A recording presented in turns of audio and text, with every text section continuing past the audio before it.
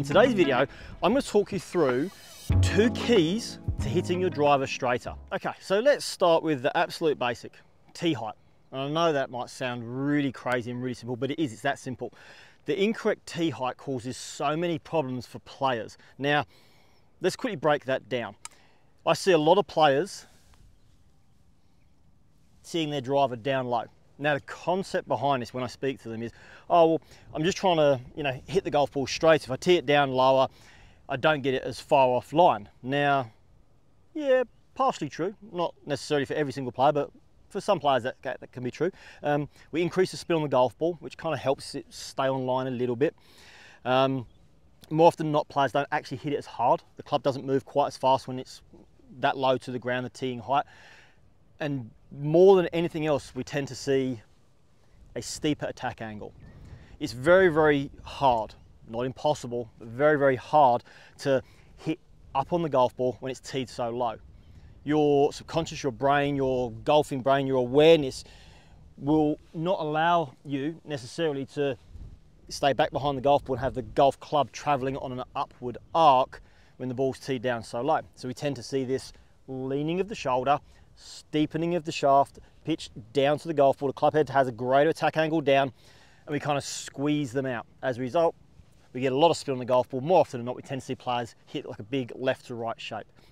Now, getting the appropriate tee height has a huge, huge impact on your face, your attack angle, all those things being neutral or square at impact. So, first things first, we want to tee the golf ball at least, for me, three quarters of the golf ball above the crown of the driver head there. So if we sort of set this up here. So to begin with, we sort of look down there. I've got just almost the whole golf ball sitting up above the crown, which is the, the top part of the golf club here. Now, of course, if you're a driver of the left shoulder and you have a steep attack angle, I suggest putting some tape on top of your driver because you're going to sky some shots until you get comfortable with hanging back behind. Now this particular training exercise I ask players to do, guys I won't lie, it's a prick of a training exercise because you're gonna swing steeply. But it doesn't take long for your brain to pick up the, the notion that I don't like having the clubs swing down too much and the golf will pop sky up in the air and go 100 meters. And so over time, generally within a singular range session, we will begin to see players working this way more. So getting the appropriate tee height is going to encourage you to hit up on the golf ball. That's important because I often see players when they hit up have the ability, as I'm showing you with this right hand here, to square the club face that much easier. It's a lot harder to square the club face with the driver when you're working in a steeper attack angle because you're not going to work a steep attack angle from behind the body because you're going to hit the ground. You're going to work that steep attack angle from outside to inside and now we have our face pointing too far left or we'll reorientate it too far right and we end up hitting that slice. Now the second key, and this is really, really simple again, is rotation far too often, and this is a great angle to show this, I see players lack rotation. This left shoulder barely gets underneath the chin line when they're holding their driver. They just simply pick the hands and arms up. Some players will try to get the hands higher, but we don't create rotation. If we don't create rotation, we then rely solely on our arms to move as fast as they can into the downswing. That makes it particularly difficult to control the club face because arms are moving, hands moving, lots of little moving parts and the smaller moving parts are harder to control than the bigger parts being your torso and arms as a general. So I like to tell my players, we're going to work on trying to get this left shoulder to feel like it's moving over to our right foot. This enables me to create greater rotation. This will also enable me to shallow out my backswing. Put myself in a bit of a, let's say a flatter position, and then from here, I can work into the downswing. I keep greater control over the club face. That stems, and that ability stems from creating some additional rotation.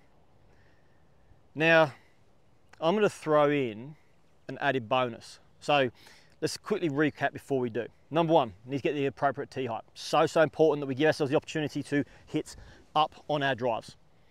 Number two, we want to ensure that we are creating adequate rotation. That's this left shoulder working the feeling of like it's getting over our right foot here. And the final part is the role of your right elbow.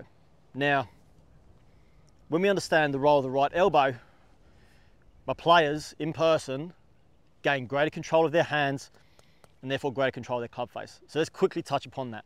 Okay, so the right elbow. The reason why I wanted to give you this sort of bonus information is because when we can control this, we can control the direction which the club's moving, which gives us the ability to hit the golf ball straighter. So for those of you that are increasing the rotation in the backswing, there will be a want and a tendency to then recoil back towards the golf ball, which then causes the arms to separate away from the body.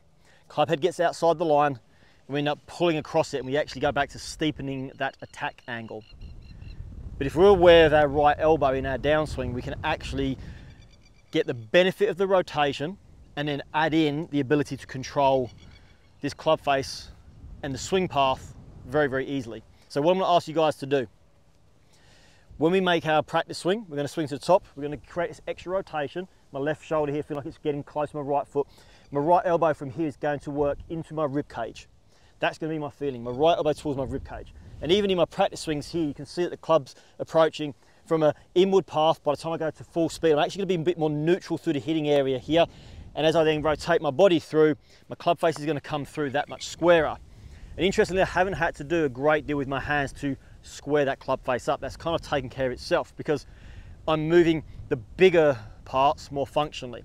So if that makes sense, the torso, the arms, if they move, there's a lot less work that my smaller muscles have to do and that is therefore going to make it easy to control my club face, which makes it easier to hit the golf ball straighter. Guys, as always, I appreciate you taking the time to watch today's video, and I do hope it's been helpful. I do hope that you've picked up some information that helps your game improve. As always, please leave a comment below. I'll be more than happy to get back to any comments that are posted up, any questions that you might have. If you have an idea or if you'd like some help with your game specifically, please feel free to put a comment or reach out to me on the Skillest app. So don't forget to like, share, subscribe, and until next time, happy golfing.